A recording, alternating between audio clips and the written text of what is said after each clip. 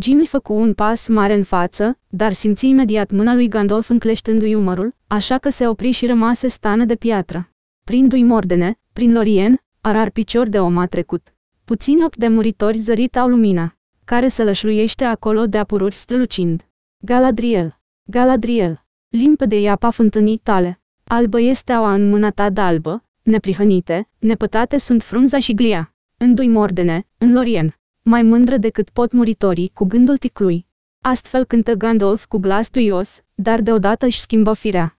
Azvârlindu-și mantia ponosită, se ridică, fără să se mai sprijine în toiag. Și rost rece, cu glas limpede, înțeleptul vorbește numai ce știe. Grima, fiul al lui Galmod. Ai ajuns un vierme fără minte. Așa că taci și țineți limba aia despicată în gură.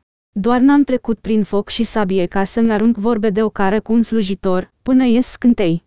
Își ridică toiagul. Se auzi un bubuit de tunet. Soarele dispăru din ferestrele de la răsărit, în sală se făcu întuneric de-ai fi zis că noapte. Tăciunii din foc păliră mohorâți. Nu se mai zărea decât Gandalf, înalt și alb, dinaintea vetrei înnegrite. În bezna aceea, se auzi glasul șuierat al lui limbă de vierme, nu te-am povățuit eu, măria ta, să nu-i dai voie cu toiagul aici. Smintitul ăla de hamă ne-a trădat. Apăru un fulger care păru că despica acoperișul. Apoi se făcu liniște. Limbă de vierme căzu cu fața la pământ. Și acum, Theoden, fiul al lui Thengel, binevoiești să-ți pleci urechea la mine? Întrebă Gandalf. Ai nevoie de ajutor? Își ridică toiagul, îndreptându-l spre o fereastră de sus. Acolo întunericul părea să se risipească și în depărtare apăru un petic de cer lucitor. Nu-i totul cufundat în întuneric. Ia-ți inima în dinți, senior al obștii, căci n-ai să afli sprijin mai de nădejde ca al meu. Nu dau povețe celor ce se lasă pradă deznădejdii. Totuși aș avea câte ceva să-ți spun. Ai să mă asculți? Vorbele mele nu es pentru toată lumea. Te conjur să ieși și dinaintea ușii, să te uiți peste fruntarii. Prea ai stat mult în beznă și te-ai încrezut în născociri trunchiate și înșușoteli ticăloase. Theoden se scula nevoie din jilțul său. În sală începu să crească iar o lumină palidă. Femeia îl urmă iute pe regele împovărat de ani, luându-l de braț, iar acesta coborâ cu pași nesiguri de pe lespede, apoi porni încet de-a lungul sălii. Limbă de vierme rămase întins la podea. Ceilalți ajunseră în fața ușilor, iar Gandalf bătu. Deschideți! strigă el. Iese seniorul obștii. Ușile se dădură la o parte și în încăpere pătrunse șuierând un val de aer tare. Pe colină bătea vântul. Trimiteți străjării jos, pe scară, zise Gandalf. Iar tu, domniță, lasă-l puțin. Voi avea eu grijă de el. Du-te, Eowen, fica surorii mele, o îndemnă regele. Nu mai ai de ce să te temi. Fata se întoarse și porni încet spre casă. Când ajunse în dreptul ușilor, se opri și se uită îndărât. Privirea ei năpădită de griji îl învălui pe rege într-o milostenie rece. Avea chipul nespus de frumos, iar părul ei lung părea un râu de aur. Mlădie se înălța în rochia ei albă, încinsă cu un brâu de argint, cu toate acestea, părea puternică și tare ca oțelul o adevărată fică a regilor. Astfel îi apăru Eon, domnița Rohanului, lui Aragorn, pentru prima oară în plină lumină de zi, și o găsi mândră, mândră și rece, ca zorii unei zile de primăvară timpurie, neajuns încă la rangul de femeie. Deodată ea a avut ochi și pentru el, voinicul moștenitor al regilor, înțelepți de ierni fără de număr, înveșmântat în mantia ei cenușie, cu o forță pe care, deși ascunsă, ea o ghici pe data.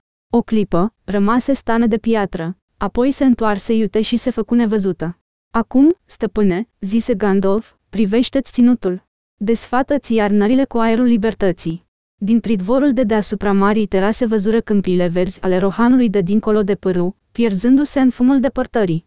Perdelele de ploaie zburătăcite de vânt cădeau pieziși la pământ. Deasupra și către apus, cerul era încă negurat de tunete, iar fulgerele pâlpâiau în zare, printre colinele abia ghicite. Dar vântul o luase spre miază noapte, iar vijelia ce se stârnise de la răsărit se domolea, depărtându-se către marea de miază zi. Deodată, printr-o spărtură din norii din dărătul lor, țâșni ca o săgeată o rază de soare. Și roaiele ploii scânteiară ca argintul și râul sclipi în depărtare, ca o oglindă lucie. Nu-i chiar așa întuneric pe aici, vorbit Heoden. Nu, zise Gandalf. Și nici povara anilor nu te apasă atât de tare, pe cât și ar fi închipuie unii. A zvârleți propteaua aia. Toiagul negru îi căzu regelui din mână, izbindu-se cu zgomot de pietre. Theoden își îndreptă încet șalele, ca un moșneac care trudise a plecat prea multă vreme. Acum se înălța drept și, cum privea spre cer, ochii lui se făcură albaștri. Întunecate vise am mai avut în ultima vreme, rost el, dar mă simt ca abia trezit din somn. Cât mi-aș dori acum să fi venit mai de mult, Gandalf. Căci mă tem că-i prea târziu și nu vei face decât să vezi ultimele clipe ale casei mele. Slăvitul lăcaș înălțat de Brego, fiul lui Earl, se va prăbuși. Jilțul măreț va fi mistuit de flăcări. Oare se mai poate face ceva? Se mai pot face multe, zise Gandalf. Dar întâi trimite după Omer. Oare mă înșel eu, sau îl ții static, la îndemnul lui Grima, căruia toți, afară de tine, stăpâne, îi zic limbă de vierme? Așa e, recunoscut Heoden. S-a răzvrătit împotriva poruncilor mele și l-a amenințat pe Grima cu moartea, chiar în lăcașul meu. Nu crezi că există oameni care țin la tine, dar nu și la limbă de vierme și la povețele lui? Îl întrebă Gandalf. Așa o fi. Am să fac precum spui. Chemați-l pe Hamă la mine. Odată ce s-a dovedit nevrednic să-mi străjuiască ușile, hai să-l facem purtător al soliilor. Vinovatul să-l aducă pe vinovat la judecată, rost Theoden cu glas crunt, dar îndreptându-și privirile spre Gandalf, surâse și, în clipa aceea, cutele care îi brăzdau chipul copleșit de griji dispărură fără urmă. Odată Ham a plecat, după ce primise poruncile cuvenite, Gandalf îl duse pe Theoden până la un jils de piatră, așezându-se el însuși în fața regelui, pe treapta de sus. Aragorn și tovarășii săi rămaseră în picioare, în apropiere. Nu-i vreme să-ți spun tot ce ar fi de spus, zise Gandalf. Totuși, de nu mă înșeală nădejdea, nu-i departe clipa când îți voi putea povesti tot. Căci, vai, te paște o primejdie cum nici măcar vicleanul limbă de vierme n-ar fi în stare să-ți urzească în vis. Dar, vezi bine, acum nu mai visezi. Ai revenit la viață. Gondorul și Rohanul nu mai sunt singure. Dușmanul e mai puternic decât ne putem închipui, însă mai avem o nădejde de care el nu știe. Gandalf vorbea acum pripit, cu glasul scăzut și tainic, nimeni nu auzea ce spune, în afară de rege, ai cărui ochi se luminară. Într-un târziu, Theoden se ridică în toată măreția lui, alături de Gandalf, și privirile lor se îndreptară împreună din înălțimi, spre răsărit. Se pare, rost Gandalf, de data aceasta cu glas pătrunzător și limpede, că nădejdea ne vine tot de acolo de unde și spaima cea mai cruntă. Soarta noastră atârnă neclintită de un fir de păr. Și totuși, dacă reușim să nu ne lăsăm cuceriți măcar o vreme, mai e o nădejde. Ceilalți se uitară și ei spre răsărit. Peste leghe nesfârșite de pământ își aruncară privirile, până hă departe, unde se putea răzbi cu ochii, cuprinși încă de nădejde și de teamă, ajungând dincolo de munții întunecați ai tărâmului umbrei. Unde era acum purtătorul inelului? Da, soarta lor atârna doar de un fir de păr. Și cum își căznea el ochii tot văzători, lui Legolas îi se păru că zărește o scânteiere alburie, pe semne că acolo, în depărtare, soarele aurea unul dintre foișoarele turnului străjii. Și mai încolo, dincolo de zarea nesfârșită, dar amenințătoare, se vedea o flăcăruie. Theoden se lăsă iar jos, ca și cum vlăguiala pusese iar stăpânire pe el, în ciuda voinței lui Gandalf. Se întoarse și își privi lăcașul măreț. Vai mie! Făcu el. Mi-a fost dat să trăiesc asemenea zile de restriște, în loc să-mi aflu tihna bine meritată acum, la bătrânețe. Bietul Boromir viteazul. Tinerii pierd și rămân bătrânii să se ofilească. Își înclește genunchii cu mâinile lui brăzdate de vreme. Mai bine ai apuca mânerul unei spade, ca să-ți amintești de vigoarea lor de demult, zise Gandalf. Theoden se ridică și își duse mâna la șold, dar nu dădu de nicio spadă. Pe unde mi-o fi pitit-o grima? murmură el printre dinți. Iau pe aceasta, domnia ta, rosti un glas limpede. Ți-a slujit mereu cu credință. Pe scări urcaseră fără zgomot doi bărbați care se opriseră la câteva trepte de ei. Sosise Omer. Nu purta nici coif, nici vestă de zeil, dar ținea în mână o spadă pe care i-o întinse, îngenunchind, stăpânului său. Ce se întâmplă aici? întrebă Theoden cu glas sever. Se întoarse spre Omer, iar ceilalți se uitară uluiți la rege, văzându-l atât de mândru și de voinic. Unde era bătrânul cocârjat pe care îl lăsaseră la plecare în jilț, proptindu-se în toiag? Ei sprava mea, măria ta, rost hamă, tremurând. Am înțeles că urma să fie slobozit. M-a năpădit o asemenea bucurie, încât cred că am luat o razna. M-am gândit să mă supun mareșalului obștii acum, că e liber, și i-am adus spada, la rugămintea sa. Ca eu să o așez la picioarele domniei tale, zise Omer. O clipă se lăsă tăcerea. Theoden își pogoră privirile asupra supusului său îngenunchiat. Nici unul dintre ei nu se clint. Nu vrei să iei spada? întrebă Gandalf. Theoden întinse mâna fără grabă. De îndată ce apucă mânerul, li se păru tuturor că brațul îi devine iar viguros și plin de hotărâre. Brusc, ridică spada care sclip și un vârt, tăind aerul cu un șuier. Apoi scoase un strigăt măreț. Rost cu glas limpede, răsunător, o chemare la arme în limba din Rowan, sus acum, sus, călăreți ai lui Theoden. În bezna e răsăritul. Treziți-vă, fapte de renume. Înșeoați caii, cornul să răsune. Înainte, aurlingi. Crezând că erau chemați la ordine, străjerii năvăliră sus, pe scări. Își priviră uluiți stăpânul, apoi își traseră cu toții spadele, ca la un semn, și le așezară la picioarele lui. Poruncește, măria ta! Strigară ei. Westut Heoden Hal. Strigă și Eomer. Ce bucurie pe noi că ți-ai venit în fire. Să nu se mai spună de tine, Gandalf, că n-aduci decât năpasta. Ia-ți spada înapoi, Eomer, nepoate, zise regele. Du-te, hamă, și caută-mi, o pe a mea. Mi-a luat o grimă în păstrare. Adu el și pe el dinaintea mea.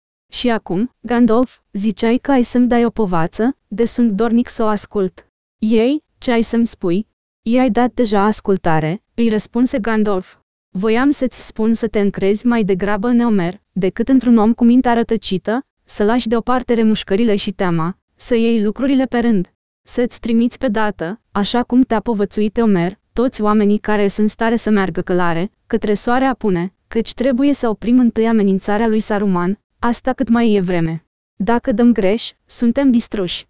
Dacă biruim, trecem la împlinirea următoarei misii.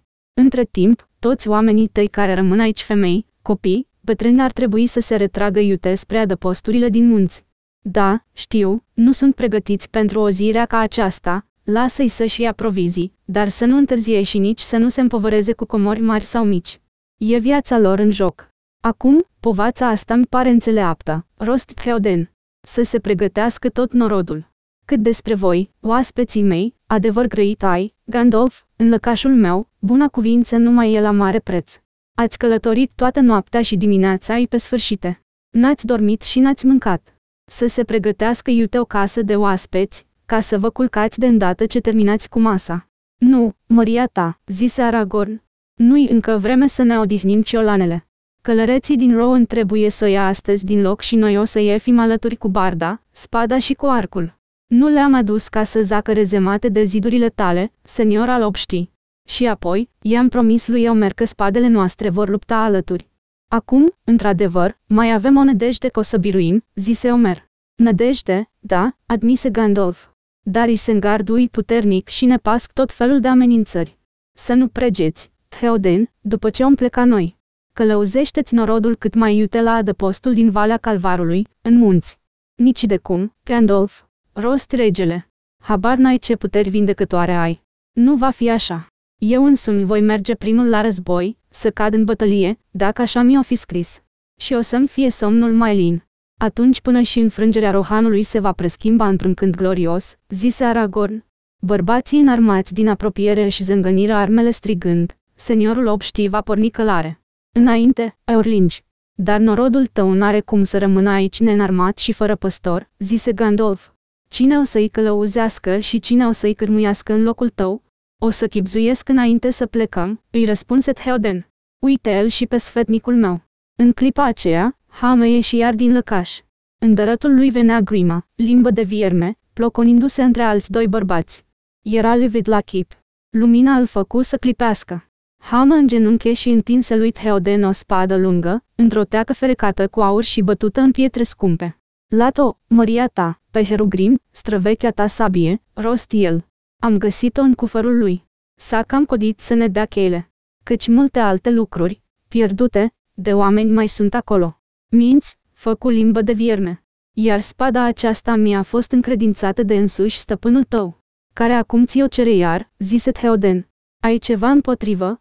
Departe de mine gândul, zise limbă de vierme. Mă îngrijesc de măria ta și de tot ce e al tău cât pot de bine. Dar nu te irosi și nu-ți risipi puterile. Lasă-i pe alții să se ocupe de oaspeții ăștia plicticoși. Bucatele sunt gata și te așteaptă. Nu vrei să te duci să mănânci? Ba da, zise Theoden. Iar oaspeților mei să li se aștearnă masa alături de mine. Oștirea va porni chiar astăzi călare. Trimiteți pristavii să-i adune pe toți care să lășluiesc în preajmă. Toți bărbații și flăcăii în putere și vrednici să poarte arma în mână, toți cei care au cai să fie gata, în șa, la poartă, înainte de ceasurile două, după amiază. Mărite, Doamne! strigă limbă de vierme. E așa cum m-am temut. Vrăjitorul ăsta te-a fermecat. Oare nu se cuvine să lași pe cineva să apere lăcașul auriu al strămoșilor tăi și toate comorile tale? Pe cineva care să-l apere pe seniorul obștii? Dacă și asta e vrajă, zise Theoden, atunci oricum îmi pare mai sănătoasă ca și șotelile pe care mi le-ai strecurat în ureche. Cu leacurile tale, nu mai aveam mult până să mă târăsc în patru labe, ca o ligioană. Nu, nu o să rămână nimeni aici, nici măcar tu, Grima. Ai să pornești călare împreună cu noi. Du-te! Mai ai vreme să-ți cureți spada de rugină. Îndurare, stăpâne. Schelele-i limbă de vierme, târându-se la pământ. Ai milă de cel ce a îmbătrânit în slujba măriei tale. Nu mă alunga de lângă tine. Măcar eu îți voi rămâne alături când te vor părăsi cu toții. Nu-l depărta pe credinciosul tău Grima. Ai îndurarea mea, zise Theoden. Și n-am să te depărtez de mine. Căci eu însumi voi porni la luptă împreună cu oamenii mei. Te poftesc să vii și tu, să-ți arăți credința. Limbă de vierme se uită în ochii regelui. Avea privirea unei fiare care caută scăpare din cercul de hăitași, își lins buzele cu limba lui albicioasă și lungă. Era firească o asemenea hotărâre din partea unui senior al casei lui Earl, oricât de bătrân ar fi, zise el. Dar cei ce îl iubesc cu adevărat iar cruța bătrânețile. Însă văd că am ajuns prea târziu. Alții pe care moartea stăpânului meu nu i-ar prea îndurera au reușit deja să-l convingă. Și dacă nu pot să le mai zădărnicesc isprava, măcar ascultă, stăpâne, vorbele mele. Să fie lăsat în nedoras cineva care îți știe gândul și îți urmează poruncile. Numește un slujitor credincios. Lasă-l pe sfetnicul tău, Grima, să se îngrijească de toate, până te vei întoarce căci am să mă rog să o văd și pe asta, deși niciun om cu scaun la cap n-are cum să creadă în așa ceva. Eomer zbucni în râs. Afară că vorba ta nu te scapă de război, prea nobilă limbă de vierme, zise el, la ce altă slujbă mai puțin onorabilă te-ai gândit? Să cari un sac cu merinde în munți. Îndoiem, aș că avea cineva încredere să-ți dea voie. Nu, Elmer, n-ai cum să pricepi tot ce zace în mintea jupânului limbă de vierme, zise Gandalf, întorcându-și privirile pătrunzătoare spre el. E îndrăzneț și viclan. Chiar și acum joacă un joc primejdios și prima mutare e în mâinile sale. Mi-am pierdut deja prea multe ceasuri prețioase cu persoana lui. Jos, șarpe. Urlă el pe neașteptate cu un glas tunător. Târăște-ți pântecele pe pământ. De când te-a cumpărat Saruman? Ce răsplată ți-a făgăduit? Că după ce toți oamenii vor fi morți ai să-ți iei partea ta din comoară și femeia pe care ți-o dorești? De mult ți se scurție ochii pe sub pleoapele alea lăsate după ea și o urmărești pas cu pas. Eomer puse mâna pe spada. Știam eu, zise el printre dinți. Pentru asta l-aș fi ucis, fără să mai țin socoteală de rânduielile de la curte. Dar mai sunt și altele. Făcu un pas înainte, însă Gandalf îl opri cu mâna. Eon e în siguranță acum, zise el. Dar tu, limbă de vierme, ai făcut ce ai putut pentru adevăratul tău stăpân. Meriți și tu, acolo, măcar o răsplată. Dar să știi că Saruman e în stare să-și uite făgăduiala. Te-aș sfătui să dai o fugă și să-i aduci aminte, să nu-ți ne socotească zelul.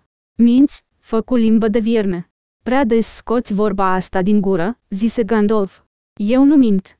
Vezi, Theoden, ai dinaintea ta un șarpe. Nu-i prudent nici să-l iei cu tine și nici să-l lași aici. Cel mai înțelept ar fi să-i ucizi. Dar n-a fost așa din totdeauna. Cândva a fost și el om și ți-a slujit cum a putut. Dă-i un cal și lasă el să plece de îndată unde vrea. Să-i judeci după cum va alege. Ai auzit, limbă de vierme? Îl întrebă Theoden. Ai de ales între a porni cu mine călare la război, ca să-ți arăți credința, și a pleca unde ție voia. Dar, de vei face asta, roagă-te să nu ne mai întâlnim vreodată, căci voi fi fără milă. Limbă de vierme se ridica gale.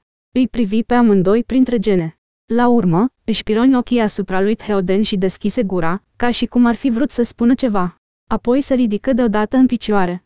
Își frecă mâinile. Ochii îi scăpărară plini de atâta răutate, încât oamenii făcură un pas înapoi. Scrâșni din dinți, apoi scuipă la picioarele regelui, șuierând, făcu un salt într-o parte și dădu buzna pe scări în jos. După el, strigă Theoden. Aveți grijă să nu facă vreun rău cuiva, dar nu-l vătămați și nici nu-i puneți piedici. Dați un cal, dacă poftește. Numai să-l rabde vreunul, adăugă Omer. Unul dintre străjeri o luă la fugă pe scări. Altul se îndreptă spre puțul de la poalele terasei și scoase apă în coif. Apoi se apucă să spele treptele pe care le mânjise limbă de vierme. Și acum poftiți, oaspeți ai mei, zise Theoden. Poftiți de vă răcoriți atât cât ne îngăduie timpul. Intrară iar în lăcașul măreț. Auzeau deja pristavii strigând jos, în oraș, și cornul de luptă zvonind. Căci regele avea să pornească la drum de îndată ce bărbații din cetate și din împrejurim izbuteau să se înarmeze și să se adune. La masa lui Theoden se așezară Omer și cei patru oaspeți, precum și domnița Ion, care îl servea pe rege. Băură și mâncară în grabă mare. În vreme ce Theoden îl iscodea pe Gandalf despre Saruman, ceilalți tăceau. Nu știe nimeni până unde merge trădarea lui, zise Gandalf. N-a fost totdeauna rău. Cândva, nu mă îndoiesc că a fost prieten cu cei din Rowan, și chiar după ce a început să îi se împietrească inima, te-a socotit folositor. Dar e multă vreme de când uneltește să te distrugă, prefăcându-se că ție prieten, până să o simți pregătit. Mai întâi misia lui limbă de vierme a fost ușoară și tot ce făceai ajungea iute la urechile celor din Isengard, căci ținutul tău era deschis tuturor străinilor, liberi să vină și să plece când pofteau. În timp ce limbă de vierme îți și șotea la ureche, înveninându-ți gândul, împietrindu-ți inima și secătuindu-ți mădularele, ceilalți priveau neputincioși, căci reușise să-ți pună stăpânire pe viață.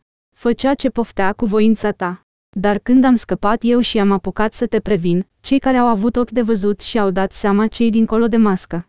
Atunci, limbă de vierme a început să joace periculos, căutând să te împiedice să-ți aduni puterile. O făcea cu pricepere, îi îmbrobodea pe unii, îi înspăimânta pe alții, după cum era cazul. Îți amintești cât zel punea îndemnându-te să-ți trimiți toți oamenii după potcoave de cai morți la miază noapte, când primejdia venea nestăvilită dinspre apus? Te-a făcut să nu-i îngădui lui Omer să-i urmărească pe orici.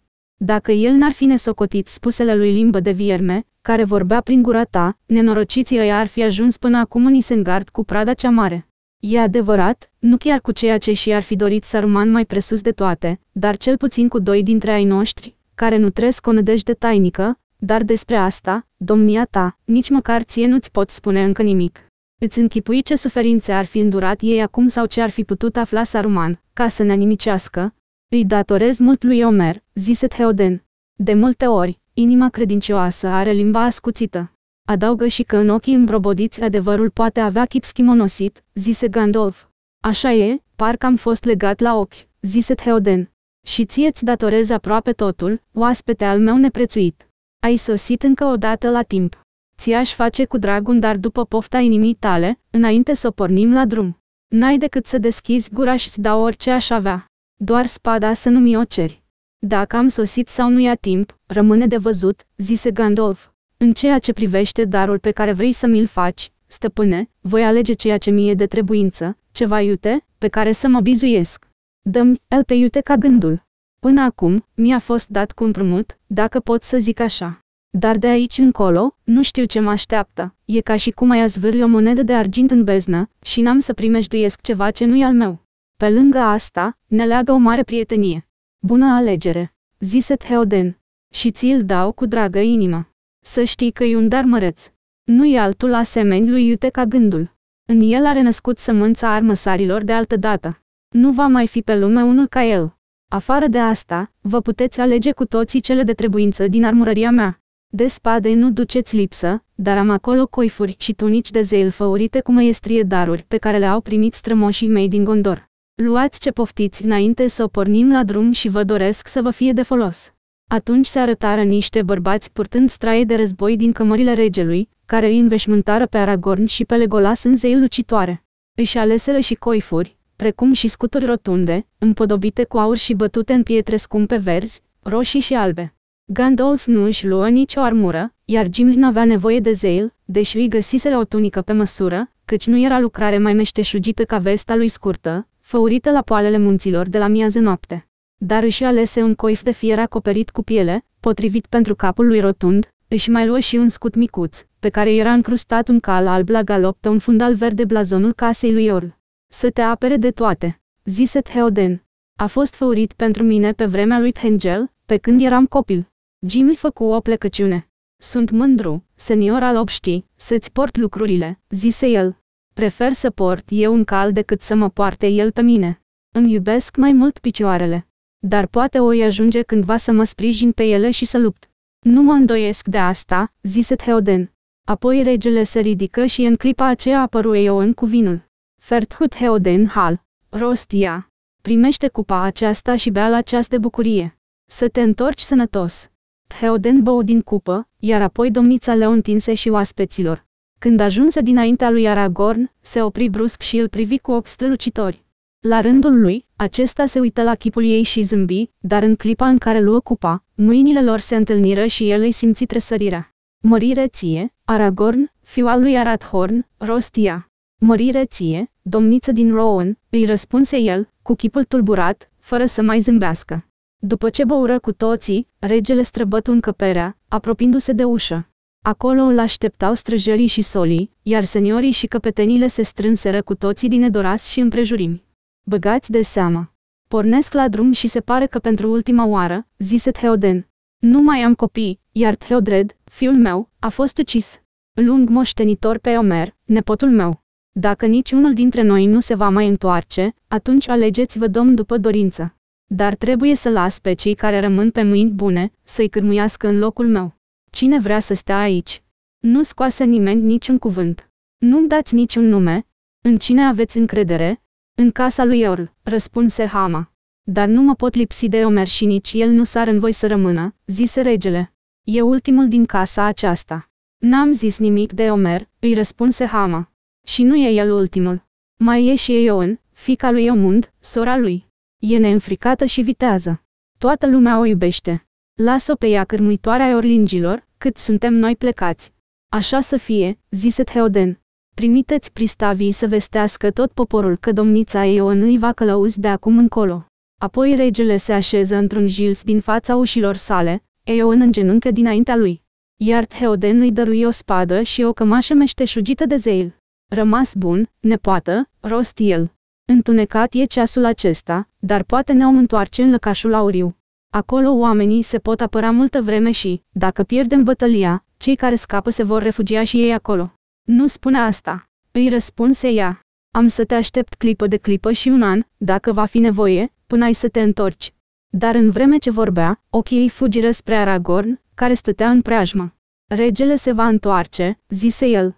Nu te teme. Așteaptă. Nu l-a apus, ci spre răsărit ne poartă soarta. Apoi regele coborâ treptele cu Gandolf alături. Ceilalți îi urmară. Aragorn mai privi odată în urmă în timp ce se îndreptau spre poartă. Sus, la capătul scărilor, stătea eu în singură în fața ușilor, își odihnea mâinile pe mânerul spadei pe care o ținea drept, dinaintea ei. Era acum înveșmântată în zeil și lucea ca argintul în soare. Jim mergea alături de Legolas cu secura pe umăr. În sfârșit, am pornit la drum, zise el. Oamenii au nevoie de multe cuvinte înainte de fapte. Barda mi se zbate nerăbdătoare în mână. Deși nu mă îndoiesc că rohirimii sunt fără milă, la o adică. În orice caz, mie nu mi se potrivește genul ăsta de război. Cum să ajung la adevărata bătălie? Ce bine ar fi să pot merge, nu să mă izbesc ca o desagă de șaua lui Gandalf. Un loc mai comod nici că se poate, după părerea mea, zise Legolas. Dar, nu-ți fie teamă, Gandalf o să te pună bucuros pe picioare când începe tărăboiul, sau o să o facă însuși iute ca gândul. Barda nu e o armă potrivită pentru un călăreț. Dar gnomii nu sunt călăreți. Aș secera cu dragă inimă niște căpățânii orcești, barda asta a mea nu-i de bărbierit scalpuri omenești, zise Jim, mângâind coada securii. La poartă, de dură peste o știre întreagă tineri și bătrâni gata în șa. Se strânseseră mai bine de o mie. Lăncile lor păreau o pădurice de lăstari. Se auziră strigăte puternice de bucurie când se arătă Theoden. Câțiva îi pregătiseră calul, pe coamă de nea, iar alții, pe ai lui Aragorn și Legolas. Gimli nu se simțea deloc în largul lui, era încruntat, dar Eomer se apropie cu armăsarul de dârlogi. Mărire ție, Gimli, fiul al lui Gloin, strigă el. N-am avut vreme să învăț vorba meșteșugită sub îndrumarea ta, așa cum mi-ai făgăduit. Dar n-ar fi mai bine să lăsăm gâlceava deoparte? Eu unul n-am să mai zic nici o vorbuliță de o ea adresa doamnei pădurii. Am să-mi uit mânia pentru o vreme, Eomer, fiul al lui Omund, zise Jim, dar de so, întâmpla vreodată să o vezi pe Lady Galadriel cu proprii ochi, să faci bine să te învoiești că-i cea mai mândră între femei, că altfel stricăm prietenia. Așa voi face, zise Omer. Dar până atunci, iartă-mă. Și însemn că nu mai porți pică, te rog să încaleci pe calul meu. Gandalf va merge în frunte, alături de seniorul obștii, dar copită de foc o să ne poarte pe amândoi, dacă binevoiești. Mulțumesc tare mult, zise Jim, vădit măgulit. Voi merge cu tine, dacă îi îngădui lui Legolas, tovarășul meu, să călărească alături de noi. Așa să fie, rost Omer. Legolas de-a stânga mea și Aragorn de-a dreapta și nu o să îndrăznească să ne stea nimeni în cale. Unde e iute ca gândul? Întrebă Gandalf. Aleargă ca nebunul prin iarbă, îi răspunseră ei. Nu lasă pe nimeni să se atingă de el.